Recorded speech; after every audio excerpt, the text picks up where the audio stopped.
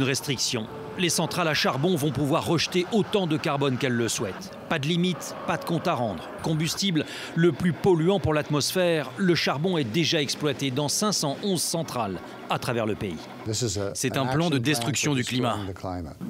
Et c'est le même principe pour le gaz de schiste. Fini les contraintes sur la quantité de terre exploitable, peu importe s'il y a dégradation des eaux. Pire, si un gisement est repéré dans un grand parc national comme Yellowstone, il ne sera plus protégé. Rien de surprenant pour un président ouvertement climato-sceptique. Le réchauffement climatique est un canular. Déjà la semaine dernière, Donald Trump a signé le lancement du pipeline controversé de Keystone qu'Obama avait bloqué par précaution environnementale. Un projet pharaonique d'acheminement de gaz du Canada jusqu'au Texas, à l'origine d'une polémique, parce qu'il passe par un site protégé appartenant à une tribu indienne dans le Dakota. Donald Trump a privilégié les milliers d'emplois qui sont en jeu.